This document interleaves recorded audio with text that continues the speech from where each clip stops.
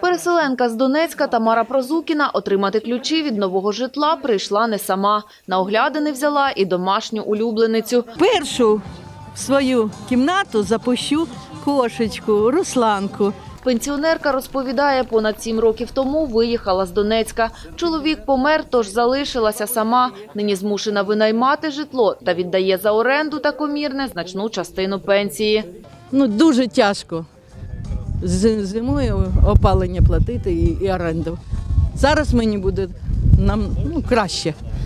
Чекала переїзду і родина Серединкових з прифронтового селища Новгородське, яке нещодавно перейменували в Нью-Йорк. Там дуже тяжко з зарплатою, з роботою. Е, Спочатку ми жили у Дніпропетровській області, там отримали статус переселенців, а потім вже сюди у Краматорськ. Е, Ми тільки у жовтні подали документи, а вже зараз у листопаді ми отримали квартиру. Ми дуже раді. Загалом 17 родин переселенців отримали власне житло у Краматорську. Будівлю занедбаної школи площею майже 2,5 тисячі квадратних метрів переобладнали у затишний будинок. Проєкт вартістю понад 30 мільйонів гривень виконували в рамках надзвичайної кредитної програми для відновлення України Європейського інвестиційного банку, а також кошти державного, обласного та місцевого бюджетів. Це знаковий е, проєкт для переселенців, для внутрішньо переміщених осіб, осіб, які не мають просто можливості придбати житло в зв'язку з своїм фінансовим станом. Але е, роль такого е, об'єкту вона була, буду відвертим, невільована, якщо б це був би один об'єкт. Але звичайно, ми на цьому не зупиняємось. Ключі від нових осель родинам переселенців вручали з урочистостями. Серед почесних гостей міністр з питань реінтеграції тимчасово окупованих територій Ірина Верещук та міжнародні партнери. Цей проєкт є одним із проєктів 246 е, насамперед проєктів е, в рамках нашої надзвичайно кредитної програми для е, відновлення України на загальну суму 200 мільйонів євро. Наразі Європейський банк вже виділив е, понад 7 мільярдів євро, і ми будемо і надалі підтримувати вас у ваших проєктах. Це наш пріоритет. Ми вже говорили з колегами, і дійсно ми знаємо, що дуже мало будується житла.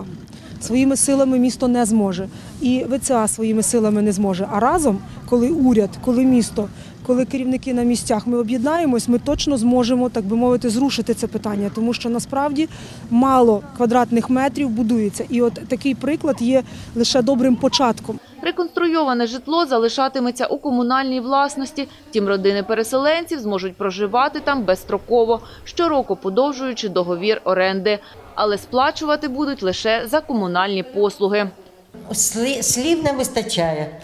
Дуже вдячна державі Україна, дуже вдячна обласній адміністрації, всім вдячна, і місто вдячна. Я тут жовтня 2014 року живу. Я на щось сподівалася в цьому житті, але на таке не сподівалася. Дуже щаслива. Облаштовується на новому місці і переселенка з Амбросіївки Вікторія Велицька. Для неї ця квартира – подвійне свято, адже дівчина виховувалася у дитячому будинку і власного житла досі не мала. Коли почалась війна, нас е, з міста Амросівки, з дитячого будинку, е, в місто Святогірськ. Е, Там було як лагерь. І потім нас, ну, ми закінчили, я закінчила 11 клас, і нас, ну, хто куди Представники ж Міністерства з питань реінтеграції тимчасово окупованих територій та міжнародні партнери наголошують, співпраця задля покращення життя переселенців та процесу реінтеграції продовжиться і далі. Голосне слово реінтеграція це звичайне життя людей, які зараз розділені.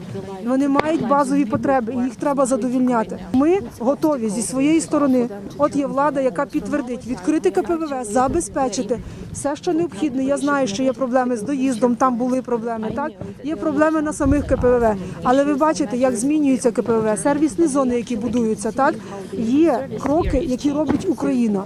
Нині ж у Міністерстві з питань реінтеграції тимчасово окупованих територій презентували нову стратегію інтеграції внутрішньо переміщених осіб на період до 2024 року. Вона містить сім основних цілей у сфері захисту ВПО.